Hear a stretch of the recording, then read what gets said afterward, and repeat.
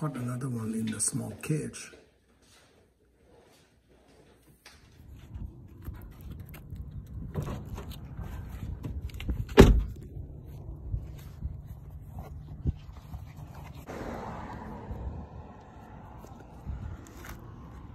Gonna go ahead and release him.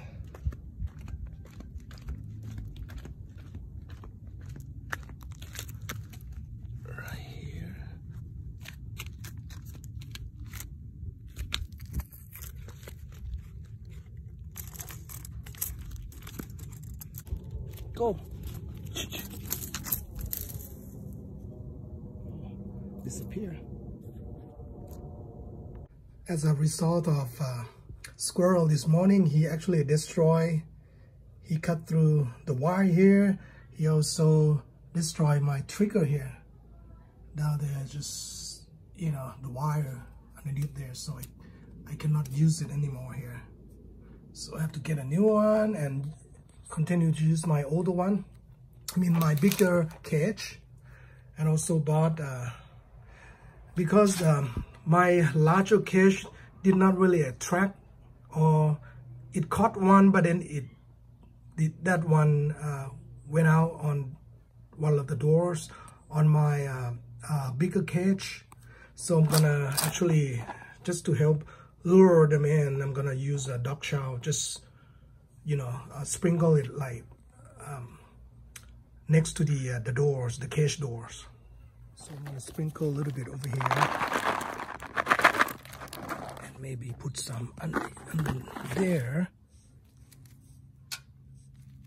Some on. Put it on the other side here.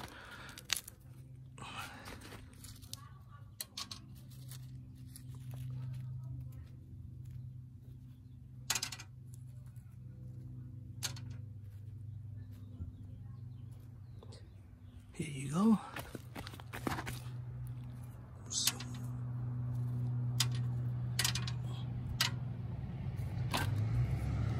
Okay, see how it goes. I'll let you guys know when I actually catch it. Um, somehow, uh, this uh, larger cage, it keep more spaces uh, for the squirrel to run and plunge through the door. So I'm gonna try it, uh, give it a little bit more, at least it's more sturdy, but the door is kind of uh, not as strong as I like it to be. And I also put bricks here with um, some magnet here just to help them close very quickly. But the last few days I haven't caught anything on this guy here. So I'm gonna see how it goes. If not, I'm gonna return it to Home Depot. I think I pay like uh, $25 for this. Anyway, we'll let we keep you folks um, updated. Thank you very much for watching. See you next video. Thank you.